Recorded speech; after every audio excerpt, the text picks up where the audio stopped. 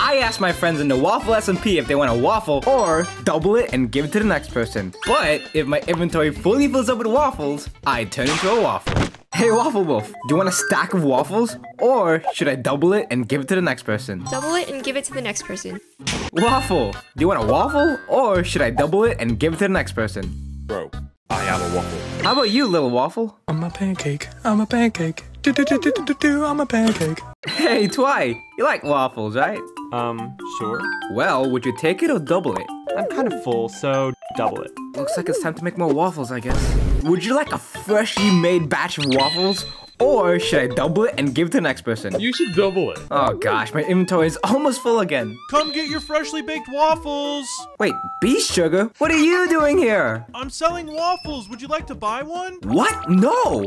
But would you take all of these waffles or double it and give it to the next person? Double it! What?